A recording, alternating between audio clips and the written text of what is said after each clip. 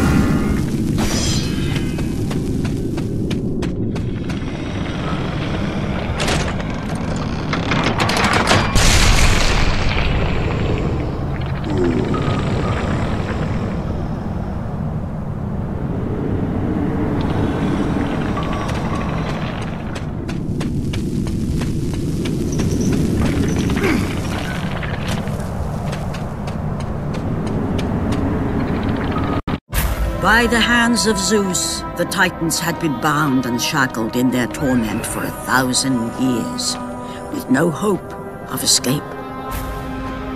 Now the chains that once held the Titan Atlas lay broken, and only one question plagued the thoughts of Kratos. Who would release such evil?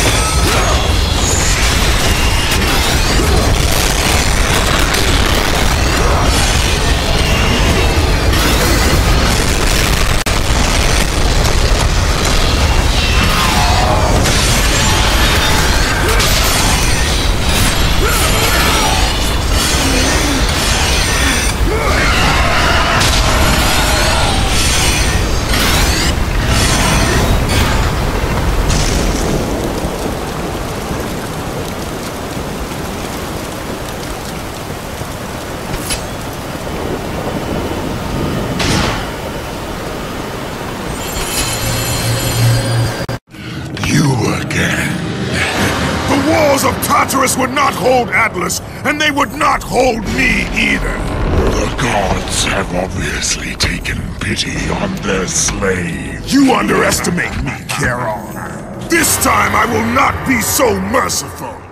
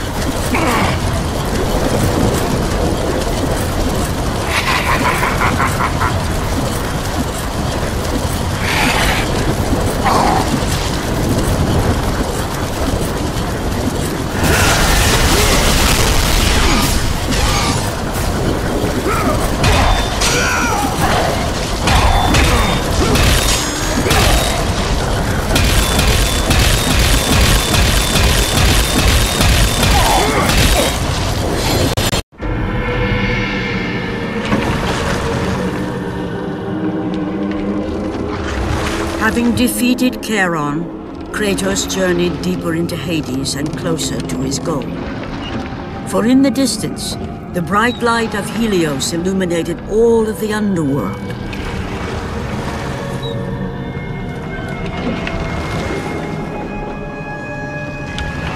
But something on the shore caught his attention. And to Kratos, it almost seemed an apparition. Calliope! upon seeing his daughter. Kratos realized that all that he had been working for, all that he had wanted, was within reach. Years of service to the gods had not delivered him from his pain, never had it eased the burden of his past. And now, Calliope was. Calliope!